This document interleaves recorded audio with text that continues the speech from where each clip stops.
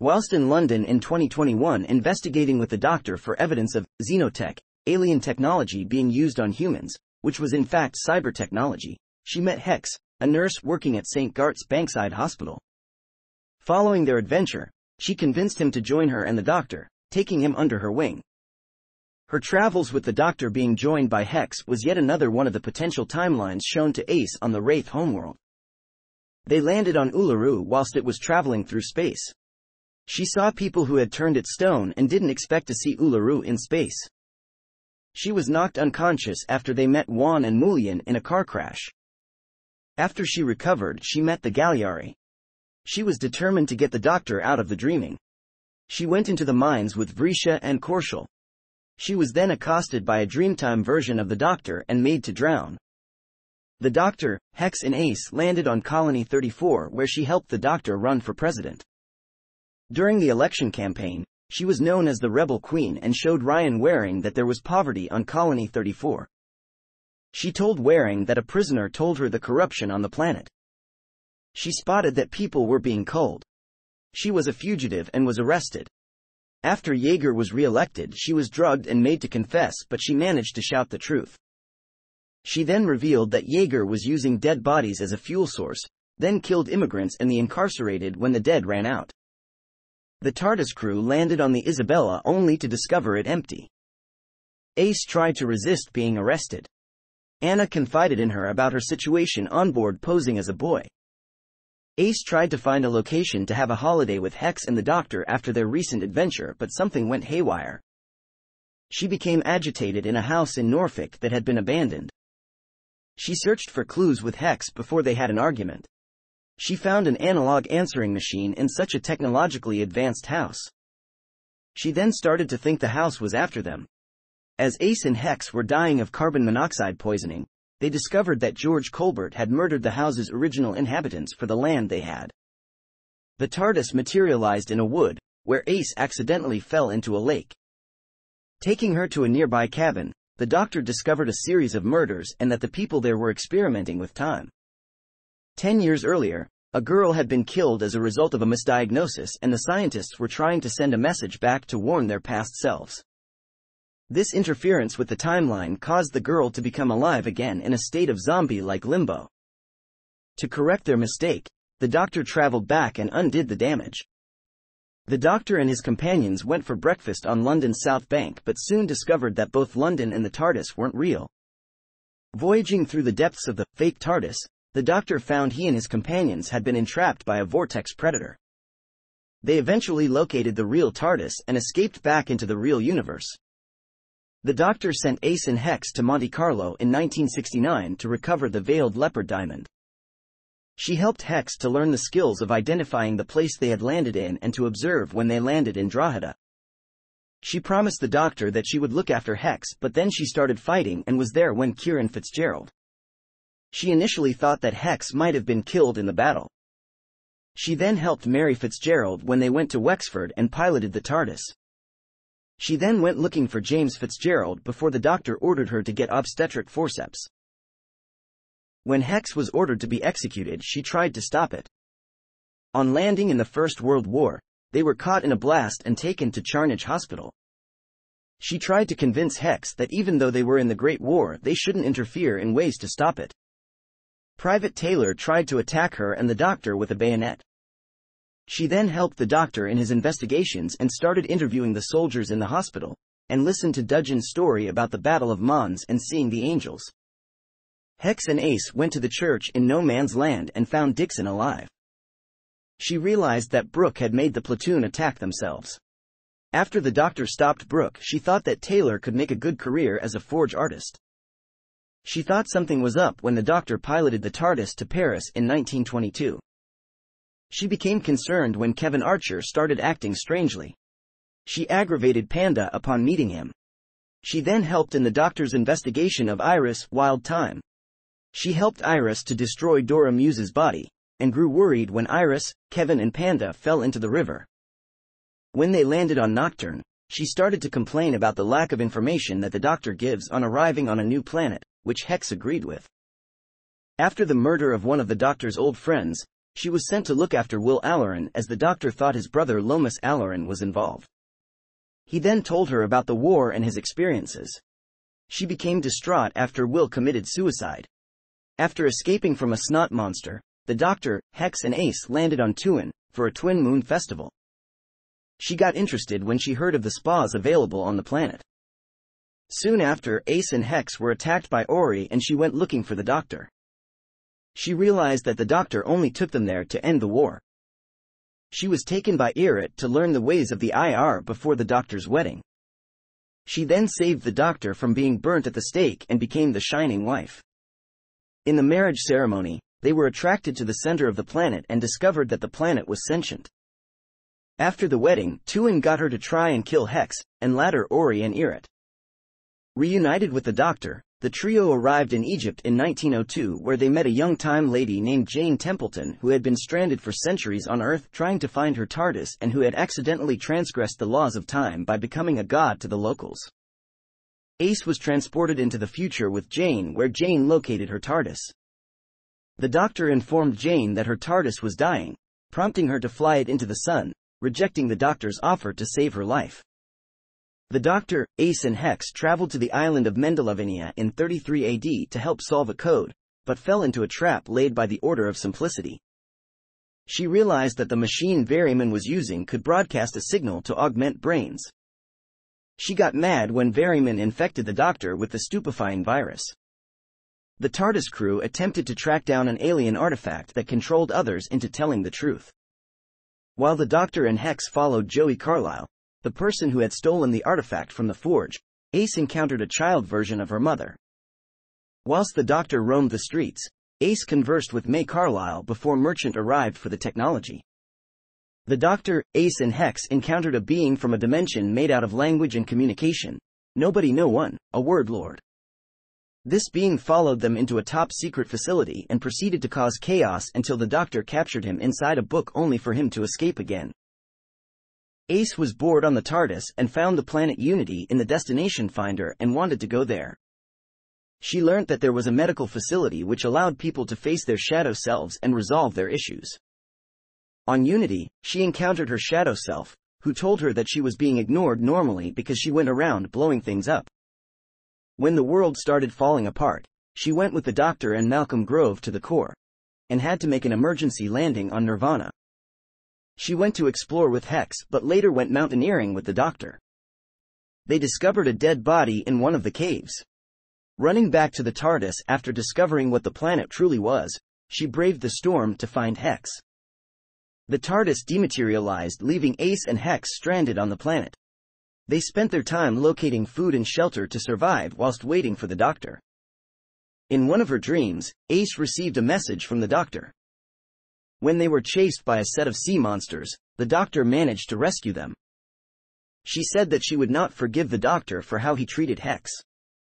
Ace and her friend were lured into the celestial toy room but managed to defeat the celestial toymaker but to stop him resurfacing the doctor placed her and Hex in charge of looking after the doctor at a sanatorium in Switzerland, in 1926. As part of the plan, she and Hex stayed in the attic and manipulated events. She tried to convince Hex that manipulating the doctor was for his own good. When there was a talent contest, she was its compare, she tried to stop Queenie Glasscock from leaving the sanatorium but failed when Queenie used a Molotov cocktail on the painted sky. She worked out how to defeat the Toymaker just before the Doctor had defeated him again. The Doctor, Ace and Hex landed on Bliss, a jungle planet under Dalek attack. While Ace and Hex helped in the battle with the Daleks, the Doctor discovered that a local professor had combined larva and piranha locust DNA to create a new species known as the Kisabia. The Kisabia fed on metal and were created to save mankind from the Daleks, but quickly became uncontrollable, decimating the Dalek forces easily. The doctor planned to blow up the station and slaughter this new species, but Beth Stokes, a former prisoner of the Daleks, chose to stay behind to finish the job instead. They traveled to Scutari in 1854 in order to cheer Hex up by visiting his idol, Florence Nightingale.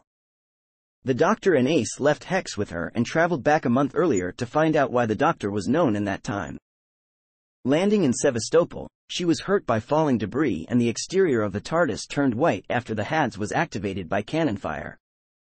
She then spent her time recuperating with Lev Nikolaevich Tolstoy, who she later persuaded to let her escape.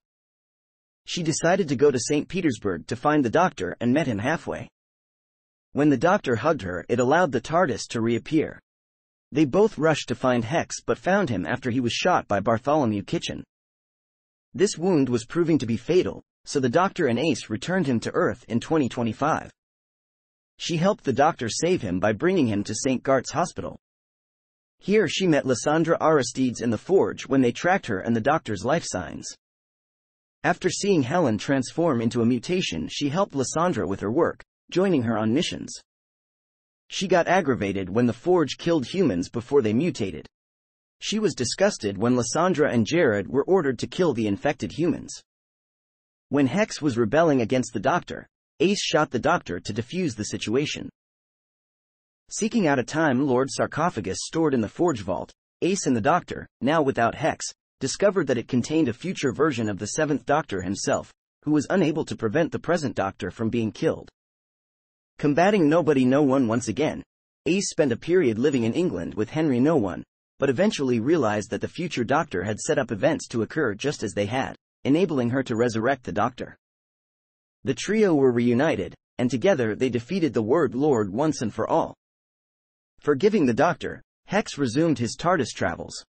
Shortly afterwards, the TARDIS landed in 1930s Alaska, with the Doctor intending to investigate a strange ice formation. They ran into an expedition who were looking for the same thing. Whilst exploring, Ace fell down a crevasse, and she had to be rescued by the doctor. She later found her way into the psychiatric institute CP Doveday was at. She spent time with Doveday and learnt more about him. He later told her to leave him for a while after he had a fit.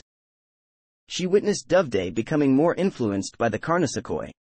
Discovering that the doctor had gone missing, Ace and Hex seemingly managed to pilot the TARDIS to England, 1989. After landing, Ace realized something was wrong when Albert Marsden was creating a fallout shelter. Peggy Marsden told her how a nuclear war was imminent. Realizing that they were stuck in a time loop, the pair were unable to prevent a pair of elder gods from escaping, but managed to pass the test the doctor had left behind for the gods and summoned what seemed to be a black painted TARDIS to retrieve them. Upon entering the black TARDIS, however, they discovered Sally Morgan and Lysandra Aristedes already there. Upon discovering this, they realized that the doctor was traveling in two separate TARDISes, simultaneously. While Hex and Sally piloted the white TARDIS, Ace and Lysandra brought the black TARDIS to 5th century Denmark, where they met Beowulf and faced an alien called Garendel. They discovered that the doctor was previously in this location, but had been kidnapped by an unknown enemy. She started to respect Lysandra on this mission, after following the doctor's clues and instructions, they retrieved an artifact called Weyland's shield, restored the original TARDIS and destroyed the black one before setting off on their way to locate the doctor. The TARDIS crew arrived in a pocket universe which was under the control of Fenric. After releasing the Doctor, it was revealed that Fenric was playing a game against another Elder God called Fenric for control of Weyland's shield, which could grant omnipotence to an Elder God. Ace met with Hermzid who came from a timeline where his father used anthrax which had been given to him by Weyland. She realized that when he was given a talisman which could call a time storm that they had more in common. She was chased by haemovores. Fenric sent her back to Perivale in 1987 on the day she left, hoping to persuade her out of going through the original time storm, but Ace escaped. She later helped to fight off the haemovores and then went after Lysandra and Sally. When Ace and the doctor were in Weyland's smithy, she stole one of his tanks. It was also discovered that the TARDIS crew had been pawns of Weyland, used to help him win the game against Fenric, and Hex was destined to become the quintessential pawn in Weyland's plan, who prevented his death after being shot in Scutari. However, Hex managed to banish Weyland, and stop the game but became possessed by Fenric. Hex sacrificed himself to prevent Fenric from permanently taking control and gaining power, saving the doctor, Ace, Sally and Lysandra. Ace was still distraught for the time it took the doctor to return Sally and Lysandra back to their respective times and places. The doctor admitted to her that all he ever had known was dead and that's why he wasn't reacting like she was. She went to Hex's room and saw that the TARDIS was archiving his room, and found a letter to Hex's grandmother, written soon after he first traveled. She then forced him to tell Hex's grandmother of his death. Upon landing in Liverpool, she helped Lily Finnegan fight against a group of hooligans. When a rival gang appeared, she found Hex, who had become a gangster in Liverpool, living as Hector Thomas. She then went to his house and ended up kissing him. She took Hector to Hex's wake. After discovering that Hex had survived as an incorporeal being who had been returned to Earth without his memories, Ace forced the doctor to give her a chance to help him regain them. She started to have an intimate relationship with Hector, but still hoped that Hex's memories would return. After Hector piloted the TARDIS to Titan, she started to get concerned especially when the doctor told her about the swarm. She caught Saturnian plague. She was taken to the Baal Foundation for treatment and was cured. After the swarm took them to the 52nd century, she managed to stop the doctor from being squashed when a bulkhead closed. She went with the doctor into the hypernet. Talon helped their progress by first giving them a pair of bikes, then Ace a gun. Whilst the doctor was creating an antivirus program, she was piloting a ship full of methane towards the planet-sized nucleus and was rescued by the doctor before it blew up. The doctor took them to ancient Athens to help Hector recover. When Ace tried to release some slaves, she was taken to see Cleon, who then banished her from the city. She was happy that Udonia was a soldier and she liked being a Spartan.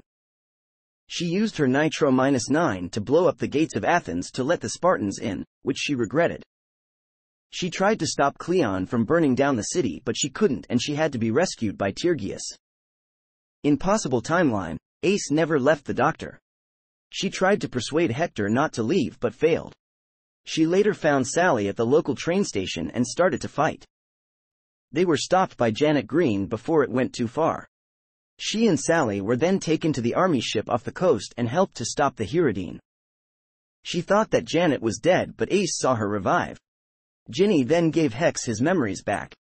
She didn't want Hex to sacrifice himself again. She helped him remember himself.